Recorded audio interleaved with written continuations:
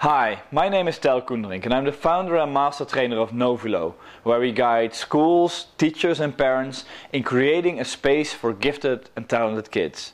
Hey, what I want to share with you today are stories of three different gifted and talented kids. And why I do this is to show some extremes of different ways of guiding kids. I do want to warn you because some of these stories they don't really end as positively as you would want. So if you're kind of sensitive, maybe you should, you know, think of not watching this because it, it, it's pretty intense to watch especially if you've had kind of a negative history with giftedness and you got stuck yourself or maybe one of your children. So think of it, maybe let your partner or somebody else watch for you to decide whether it's a good idea. But it's a very valuable lesson, so I hope you can really, you know, go through this. So I want to share with you the lives of William, David and Kim. Kimberly. Our little William, David, and Kimberly are three kids, and we're going to start with William and David. William has been raised by his parents with one single focus. William should get the chance to express himself. He should get the chance to let everything that's inside of him out. And because his parents, one of them is a developmental psychologist, and the other is a lawyer, the dream of every teacher, I can tell you. Um, they really put their best foot forward to also make sure that the school confirms this view. The school also works at, you know, letting William express himself. At the other end of the spectrum, we've got David, and he's been raised in quite a more old-fashioned style. Don't do weird stuff. You know, his father is an old school principal, and the philosophy is, you know, if somebody doesn't get the school performance, only two reasons. Either you're too stupid or too lazy. And so David has to choose which of the two he is. And we're going to follow them through their school period. And we're, start, we're starting with the first day at school. William comes into the classroom and the entire classroom is sitting in a circle and he joins them. And, you know, the teacher asks, so who of these kids knows what day it is today? And she hasn't finished asking a question. Or William gets upset, I do, I do, I know, I know, I know, I know. Today's Monday, Tomorrow is Tuesday and the day after is Wednesday. And I can tell you in French too. So, you know, the teacher in the classroom's like, oh wow, this guy is intense. But, you know, they're going on. and But with every question the teacher asks, William is again, yeah, I know, I know. He pushes his hand in his face and he's like, yeah, I know. So all the kids are looking at him like, this guy is a little weird. And it doesn't help his social acceptance. You know, kids are kind of weary of this. Then we get David, different classroom, enters the classroom, sits down, and the teacher also asks, What day is today? And at the end of the day, David gets home. And he's talking with his mother and he said, Yeah, you know, the teacher asked me what day is it today, but I looked around and none of, none of the older kids knew the answer, so I figured I'd kind of not tell them as well. At the first day in school, kids already start showing underperformance. They make a choice. Am I going to go with my social acceptance? Or am I going to go with my expression and showing what I've got cognitively? And some kids really make a pretty profound choice there and they stick with it for a long time. And then it's time to learn how to read. Well, for William, this is not a problem because he's been, you know, pampered and held by his parents, so he already knows how to read. And he comes to school and his, his mother comes along to explain to the teacher that, you know, the normal reading methods, she doesn't agree with the system, so he shouldn't have to go through them. And, you know, the teacher is still kind of hesitant, saying, you know, well, all the kids go through this. But then William's father comes in as well and says, no, this will not happen with my son. So what do they do? They're like, well, he can read already, so why would we bother him with all the boring lessons? So they skip the entire program, he reads what he wants to read. But the problem is, in the beginning, he's the fastest student. After a while, he's a mediocre student. After a while, he's one of the slowest students with a lot of, you know, untidiness and faults in his work. So, what happens is he didn't change because he never really consciously learned how to read. He doesn't know how to improve it. For David, something else happened because David came into school and it was time to read. So he did his reading lessons and came home and said, Mom, I learned to read my first word today. Cool, no? And his mother is like, David, this morning we were reading the newspaper together. You know, a new healthcare administration order has been instituted. And David's like, well, well, no, mom, but you don't get it. There's two types of reading. There is home reading and school reading. And reading newspaper is home reading, and reading at school is school reading.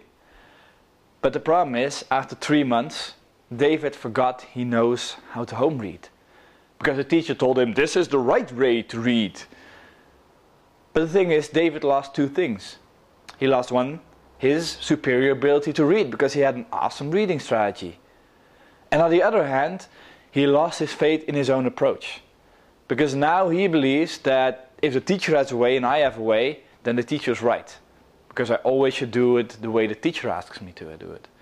And if he ever gets a question, something that he didn't have in school yet, his only answer is, I don't know, the teacher didn't tell me yet. So it's a very different mindset. And now it's time for multiplication tables. And of course you can imagine William, William, you know. He does not like repetitious work, so he should not have to do that. And if you look at William, then underneath the table he's still counting all the multiplication tables on his fingers. You know, he's not doing them in a structural way whatsoever because he's calculating them anew every time. Which means that he makes a lot of mistakes as well. But yet, you know, of course, his mother came by and explained, no, it's not allowed to make him do repetitions because gifted kids hate repetitions. And therefore, he's, he's got trouble with multiplication for the rest of his life. David gets the other end of the spectrum though, because old fashioned school, he gets five pages of multiplication so he can practice. He does a first page. He's pretty good, almost faultless. But by the second page, he's getting bored. Third page, fourth page. Uh, by the end of the last page, he's got, you know, like 20 mistakes. And the teacher is busy that week, so he figures, you know, I'm not to check all the pages, I'm just to check the last one. So he checks David's last page, Oh, David, you made 20 mistakes. Well, that means you don't really grasp the concept of multiplication yet. So, you know what we'll do? You'll do another three pages. Not quite the ideal approach. And David, even more discouraged, doesn't get a lot better at this either. And he starts hating the teacher more as well. But by now, it's time for an IQ test because, hey, these kids are kind of bright and maybe we should test them. So they're sent off to a testing agency and they're both tested and William is tested, but what the person administering the test is noticing is that he's really, really speeding along. He's going through it at a rapid pace.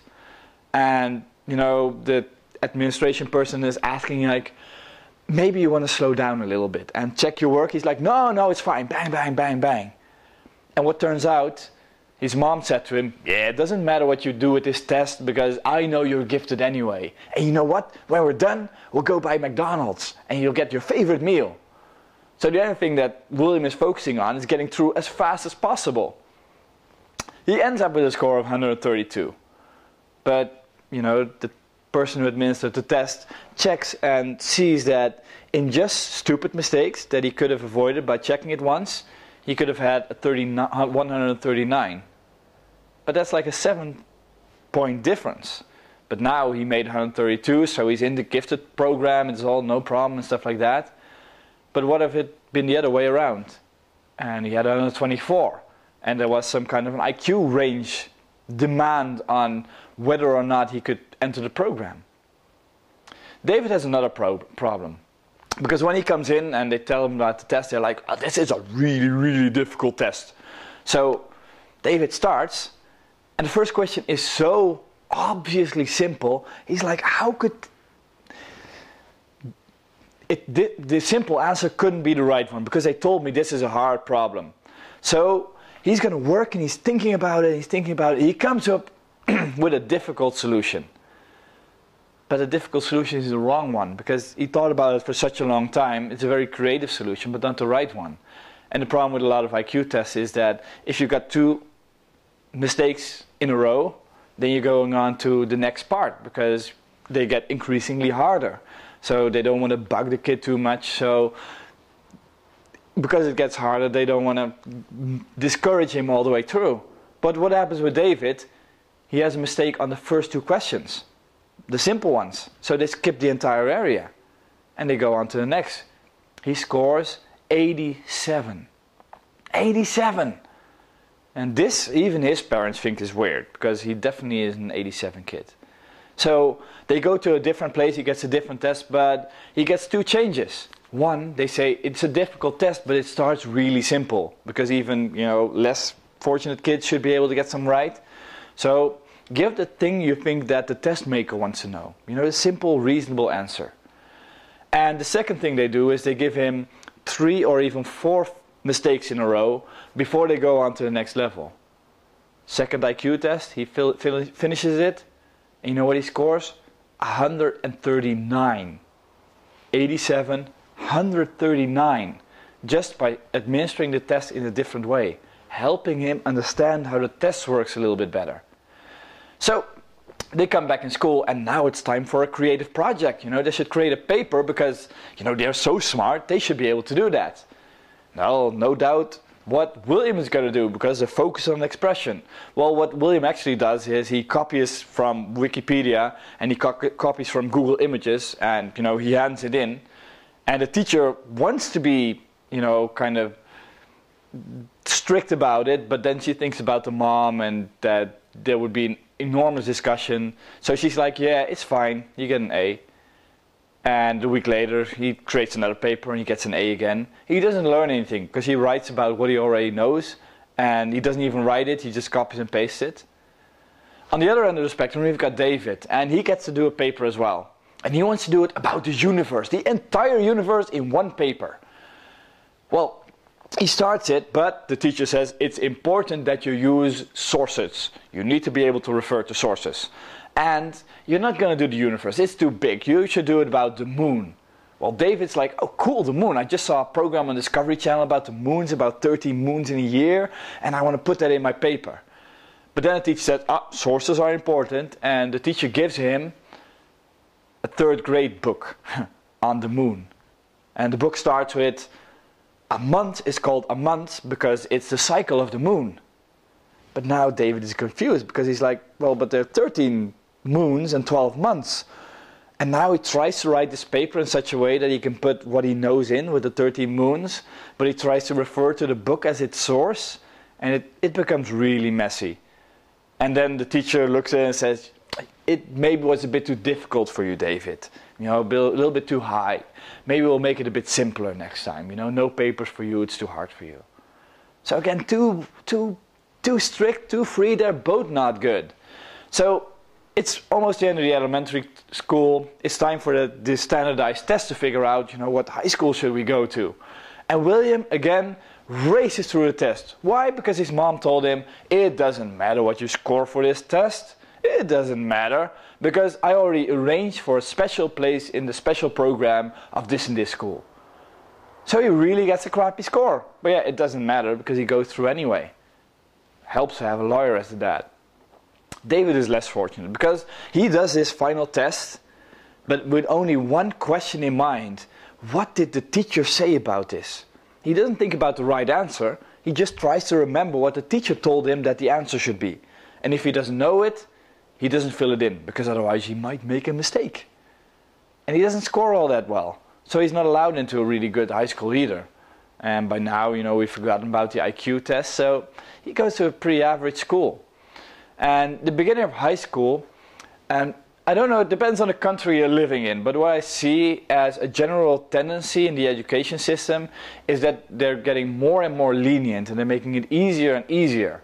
Especially a lot of schools in the first year, the first two years of high school, they give higher grades just to get the kids, you know, to get used to it. But the problem with that is that when they get a little bit further and they're about 15 years old, you know, when they're 12, they're usually pretty open to learning new strategies and learning in a different way. But by the time they're 15, you know, this big, you know, hormone factory is starting to run, and they're not as open anymore to changing their ways. But if the first two years of high school were really successful and they got really great feedback, then they're not very likely to change anymore. And this is what you see happening with William. because he came into new school, special program, and he started arranging stuff. You know, he's like, no, I made a deal with that teacher, and I made a deal with that teacher, and nobody knows what he's doing anymore because he's like two years ahead with this, but one year behind with that. But after three years, they're like, well, we have to start working towards a standardized test in the end. So, you know, show us what you can do. And now William is stuck. Because he spent all his time, you know, doing enrichment classes and not showing up for this class and not showing up for that class. But he's lacking foundational knowledge. He doesn't really know what stuff means and what he needs to do. So he becomes a dropout because he doesn't know what to do anymore. And he doesn't know how to go through, he doesn't know how to go back and learn the fundamentals. So he's kind of stuck between a rock and a hard place. And David came into school again with that one question What does the teacher want me to say? And if I don't know the answer, then I'm not going to fill it in. So his grades deteriorate, and he's put into, you know, no child left behind or slow kid classes and stuff like that. And he gets even more depressed. And he ends up in some kind of a vocational school, hoping that he'll figure stuff out. And he actually finishes high school but you know the lowest level, the lowest type of school there is available. And you know the future for the two, well, for William, he does thing after thing. You know, he goes on a snowboarding course because he wants to become a snowboarding instructor. But just before the exams are there, ah, oh, a friend of mine is in need of help. So you know, I can't, I can't just stay here. That wouldn't be responsible. I'm gonna go help them. And oh, boo, I can't make my exam anymore. And then he does another program where he wants to learn to become a skiing teacher, but just before the exams are there, his knees hurt a little bit. So that wouldn't be responsible, right, to do, you know, something like that. And then he starts this creativity program and to become a creativity facilitator. But just before the end of the year, he drops out because, yeah, you know, these evil people that study administration refuse to give him his grades. And this is the story of his life. He starts stuff up, he never finishes it. Starts up, never finishes it. Until when he's 27, he finally finds out what he wants to do. He wants to become a cook. Up his own company, is, is really successful at it. He even you know, starts the education part of it, finishes it, high marks. 27. It took him 10 years to get, to get up to speed. And David, is even more depressing.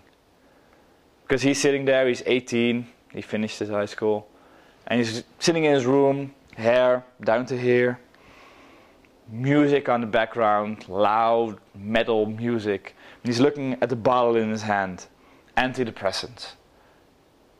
And he read somewhere on the internet if he just pops the entire bottle, it'll all be over. And he actually considers it. Well, luckily he doesn't and he goes on. And you know what job he ends up in? Bus driver. Doesn't need to think too much you know doesn't need to bother with stuff too much. Every evening he starts drinking a little bit so he doesn't think too much. Gets a nice girl not too smart who takes care of him. He takes care of her and he kind of waits out his days. He doesn't know what to do with his talent. He doesn't even know he has talent. If you ask him he thinks he's stupid that's why he's on the bus. Such a shame of talent. So our our hope in in dark days, of course, is Kim. You know, let's hope that the girl, you know, she does make it. Well, Kim gets a very different treatment because Kim's parents, Kim's father, is an athlete. Kim's mother is a professional musician, and they know one foundational fact: a talent by itself is worthless a talent is only useful when you train the skills to go with it, when you have the attitude and your willingness to work for it. And she goes to a school that also realizes this. So she goes to school, first day in school, she's sitting again in the circle, and again the question what day of the week is it? And the teacher knows that this is Kim's first day, so she looks at her and she sees that Kim, where most kids, you know, look up or take some time to think about the answer, Kim doesn't. The only thing she looks at are the other kids. So after the circle's over, the teacher approaches Kim and is like, Hey Kim, do you know what day tomorrow is? Kim's like, Yeah, Tuesday, no problem. And the teacher's like, Hey, why? Why didn't you tell me in you know the circle. And Kim's like, yeah, I didn't want to stand out, and all the kids might think I'm weird. So the teacher makes it around. He's like, well, no, this kid is doing a different program because he's good at that, and he's doing a different program because he's good at that. Everybody's different here. Everybody's unique. So, you know, just do what you can, and, and that way you don't, and that's what she's trying to do, of course. You don't have to make a choice whether you stand out or whether you do what you know. You can do both. You can be integrated into the group and still show what you know how to do. And Kim, same as David, she can school read and she can home read. But as soon as the parents find out, they go to school and talk to the teacher. And they figure out this program where they go through all the steps of the standardized curriculum. But every time she gets to do a test up front to see if she's already mastering this step. And if not, what areas need some working on. So in the beginning, she goes through pretty quickly, but after a while, she knows she learns how to adjust based on you know what specific areas such as speed or accuracy need changing. And this way, she learns how to make best use of her own skills, best use her own strategies, but, but augment them with what there's to learn at school.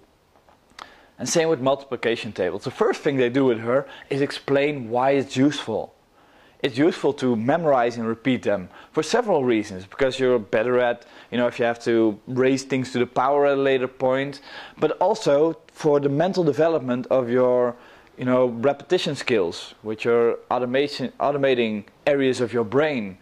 Um, it really helps the integration of your brain. Uh, look at the seven challenges to see you know the difference between comprehensions and memorization, how the two skills should both be trained. So by explaining this to Kim, she understands why she needs to do it, and she gets gets a, a different test as well. She gets the same test as normal, but she gets less time. So she's forced to train it more to be able to reach that new deadline. And then it's time for an IQ test. And Kim has the same problem. She thinks too long, but luckily she gets instructed properly. You know, like David in the second run, she gets it in the first run. And she's clearly gifted, you know, 142, a pretty good score. So she needs to create a paper as well. But the teacher is thinking about it. And the teacher, I don't have a lot of materials to really challenge her. But, you know, we've got the internet, we've got some, we've got a library and stuff like that. I'll focus on the pro process. And that's really important as a guiding counselor for a kid focus on the process. You don't have to be smarter than the kid. You have to be better at process guiding. So what she says to Kim is, you know, first make a mind map about the subject you want to work with. You know, create some outline or a summary of what you already know. And now write down three questions of things you don't know yet. And your paper will be about those three questions. That's the only thing I want to know. What didn't you know and how did you find it out? And then Kim creates a paper, and she's kind of like William, so she copies and pastes stuff together. And then the teacher says, you know, ooh, she recognizes that it's copy and paste. Let's create a rule for the next paper. Because when I read something, every paragraph I'll ask you two questions, and if you know the answer, I'll count this paragraph. But if you don't know the answer, I'm going to scrap it because you didn't learn it. The point of you know, doing all this stuff is not to have a paper, but for you to have learned what is in it. So the first time she does that, almost everything gets scratched out because Kim doesn't know the answers. but the second time, she gives it back to Kim and Kim writes it down in her own words and she thinks about it and she processes it more. And now she knows all the answers. So by guiding the process in an intelligent way, which can be done with a lot more complicated and sophisticated models, but she can help Kim forward. So by the end of elementary school, Kim is doing an awesome job. She's really well integrated, motivated, doing all kinds of enrichment stuff, and she's going to the high school. And this high school knows that it's really important to start off at the right level, to immediately start challenging Kim at the level she's not used to, maybe from the primary elementary schools. So by the time she's 15 year old, years old, there's no big surprise. It's not like it gets really hard all of a sudden it's all through in the same line. But by this time, Kim is getting a little bit bored. So by now, she's going to do some additional courses at the local university. You know, she's, she's getting some extra courses and she's already starting some degree work. And by the end of high school, she doesn't need, just get her high school diploma, but she also gets, you know, her first year's diploma for the local university in, you know, uh, maths And this way, her future is that she does a double study. study. She studies two subjects at the same time because she had a head start with one of them. She actually balances both out. And she knows she has to work for it, but she's willing to do that. She loves challenging herself. That's what the biggest value is for her. So, why did I tell you these three stories? I want to point out the risks of the wrong guidance. The wrong guidance being too much freedom, like William. You know, as long as he gets to express himself, we're not going to correct him and we're not going to push him in a certain direction. But also the other side, David. Ah, if we don't see it, you must be stupid and, and we'll, we'll cut you down in all different areas. Because that's awful for his self esteem. But rather be like Kim. Focus on her having a talent and help her develop the skills and the attitude needed to bring it to fruition. Okay? Awesome. So if you want to learn more about what you can do with this, see the movies about life attitude and whether you should change the school or the kid because they'll give you they'll give you some, you know, handles on how to do this. Thank you so much for listening. I know this has been a long story, but probably there's a lot of recognition in this. So, especially if you're a teacher, think of some kids in your classroom. Do they maybe go into the lines of William or David? And maybe you picked up some clues of stuff you can do to guide them more like Kim? Okay, I really hope you do. So you can make this step forward and help kids in an even more profound way. Thank you so much for look for being with me. Bring out the best in yourself and in each other.